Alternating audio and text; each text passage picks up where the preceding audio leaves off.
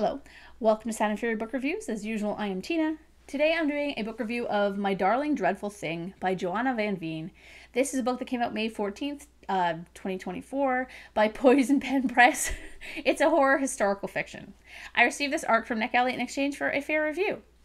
My Darling Dreadful Thing is the ultimate unreliable narrator novel. If you love being unsure whether something did or did not really happen in a book, this book delivers that 100%.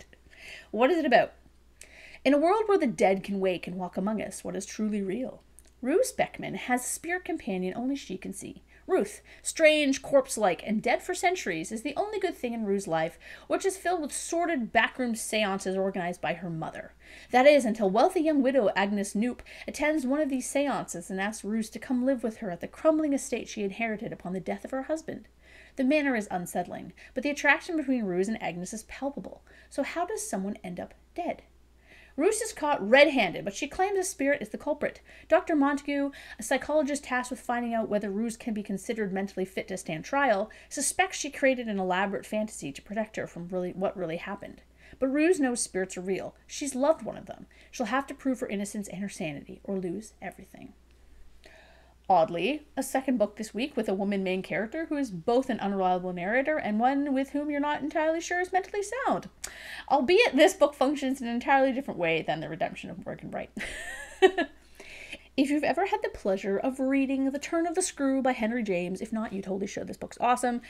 Um, my Darling Dreadful Thing is essentially an homage to it. We have a similar concept in that it's a young woman sent to a secluded place where her sanity begins to unravel, though the essence of that insanity is what is of a different nature than in James's book.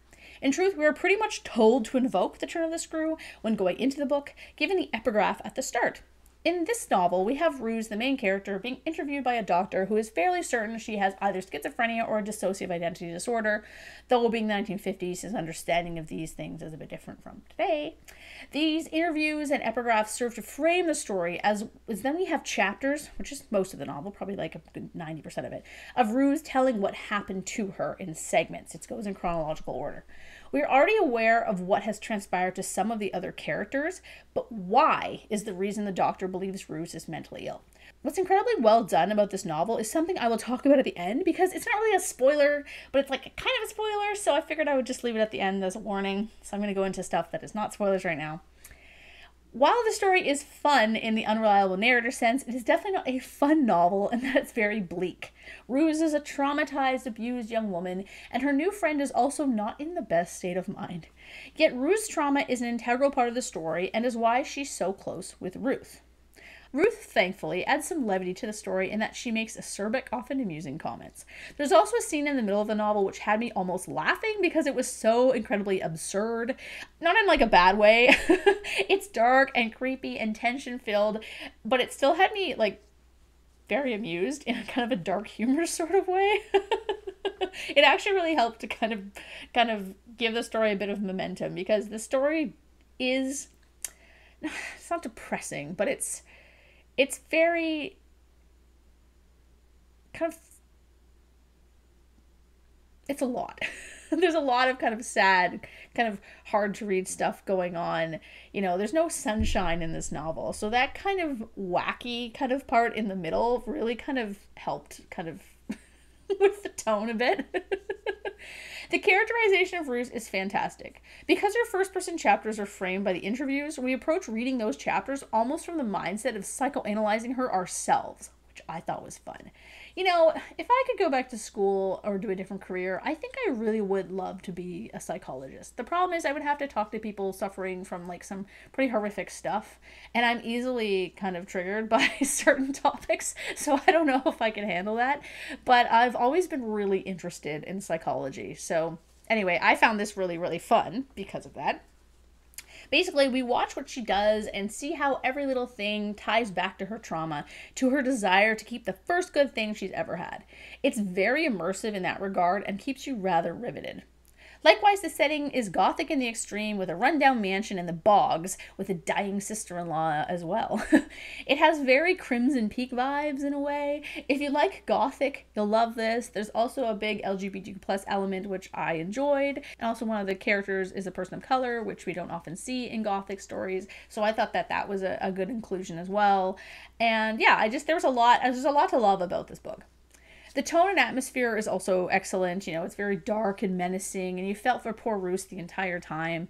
The novel is absolutely entrancing. I had a fever of 103 when I was reading it. I was lying in my bed, you know, uh, uh, um, but I was not able to stop reading it. I would read it for a bit and then I would like die and then I would read it some more. I basically figured in my fever that I wanted to know what happened at the end before I died. I get very loopy when I'm sick, and I'm always like convinced that I'm dying, and I'm like, I'm. It's the end of me. it's the end of me. And my husband's like, you have a fever. I'm like, no, no, I'm I'm on my deathbed. okay, so are you folks ready for the spoiler, not spoiler? it's one of the best things about the novel so i have to talk about it so if you're if you don't want to know anything at all about this book before going into it don't listen to this and thank you for watching if you don't really care or you think you won't remember by the time you get to it, then totally check it out because it is one of the best things about the book. The entire time, even at the end of the book, we are never really sure, just like the turn of the screw, whether Ruth actually exists. The novel expertly lays out the evidence for both interpretations so that you can't definitively say whether she was experiencing hallucinations or some part of dissociative identity disorder or whether the ghosts were in fact real. So much of it, from her mother's seances to certain physical things that happen, depend on Roos' explanations, of which we cannot trust. This is also reinforced by explanation of things I found odd, like how ghosts can touch things, which make these things make sense, but do they make sense for reality or for Roos's reality? We can't ever be sure, and that's the best thing about this book honestly, for a turn of the screw homage, I think it absolutely nailed it. This was an excellent debut, and I would be very, very interested in what this author is going to write next. So thank you again to NetGalley for the very late approval. it's funny because if I get an approval, you know, less than two weeks before the book comes out, generally I'm like, I can't, I can't fit it in. But this one, I was just like, I really want to give this one a shot, and I'm very glad that I did because I, uh, I really, really liked it. So yeah, uh, thanks for watching, and catch you later, I guess.